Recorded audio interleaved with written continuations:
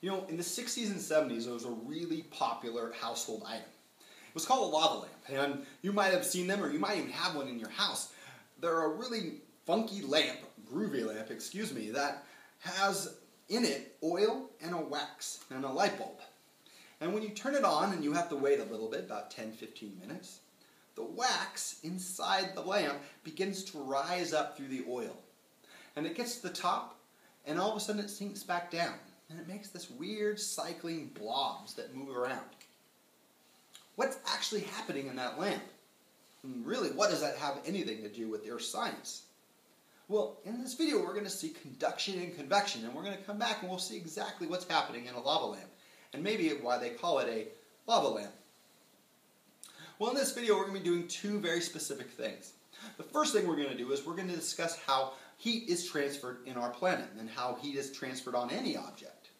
In particular, we're going to define two of those ways. They're called conduction and convection. We're going to do these two things. Really, heat on our planet Earth really comes from two different routes. The first way, it could come from inside the Earth.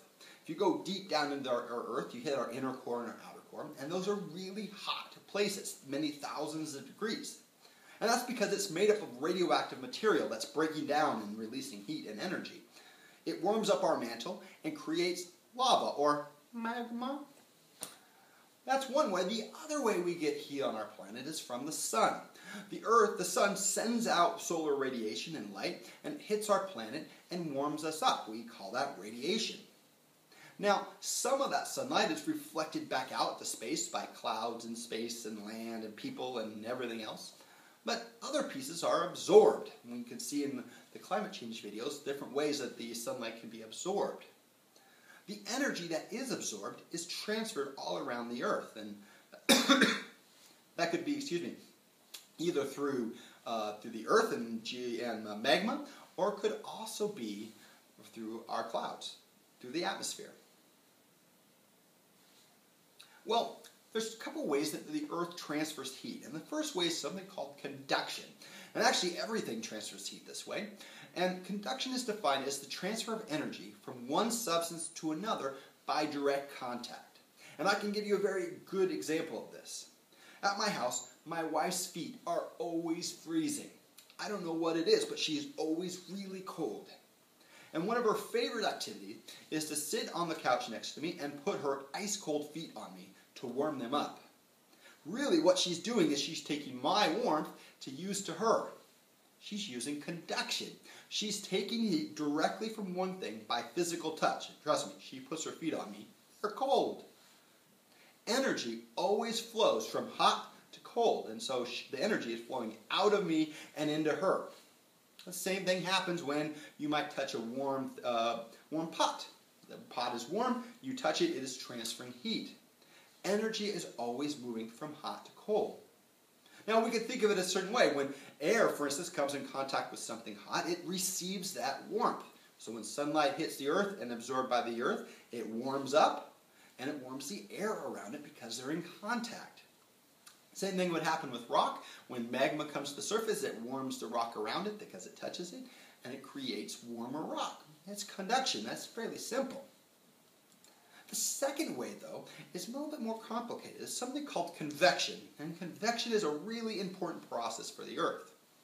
Convection is defined as the transfer of heat through a circular path in a liquid or gas. And so you don't get this in a solid, it has to be liquid or gas. And when you heat something up, it makes a circular path. Now, you've probably seen something like this, and you've probably heard you heard someone say, well, hot things rise and cool things sink. Which is true, but it's a little simplified. Really, what we should say is that when something's warmer, it expands. And when it expands, it becomes less dense. There's less stuff in that space, and it floats because it's less dense. And when it cools, it's the opposite. When you cool something, it shrinks, it becomes more dense, and so it sinks. It really is that hot things become less dense and cool things become more dense. That process will create what is called convection, and it's also what's making a lava lamp so groovy. So, let's look at that lava lamp. conduction is warming from that light bulb is warming up the glass in the lamp and it's also heating up the oil and the, uh, the wax. When the wax gets warm and liquid, it starts to expand and becomes less dense. So it floats back up away from the light bulb. As it moves up and away from the light bulb, it's starting to cool. And when it gets to the top, it isn't, it's colder. So it shrinks and becomes more dense and sinks back down. That's what makes the loop of a lava lamp. Can also be seen in our atmosphere. As the sun warms up the earth around our pole, I'm sorry, around our equator, it warms up the air. The air rises up through the troposphere next to the stratosphere where it's colder and begins to sink because it's colder and it dense and becomes more dense and it makes a big loop. So we have a loop in our atmosphere. You also might see it in the mantle. Next to our inner core and our outer core, it is hotter. So magma in our mantle gets warmer down by the outer core and rises up towards the surface. The surface is colder. So at the surface, it cools down, becomes more dense, and sinks back down. It creates loops. These circles, they're currents or convection currents. They're a really important process for moving energy around our planet. Well, what did we do in this video? We did two things. The first thing is we discussed how heat is transferred to an object. It can be uh, the heat on the Earth either comes from our inner core, outer core, or it comes from the sun. Very little is actually generated by us. That heat can be transferred. Then we looked at how heat is transferred, and we looked at conduction, which is heat being transferred through physical contact, and convection, the circular path that heat and energy can move around in a liquid or gas.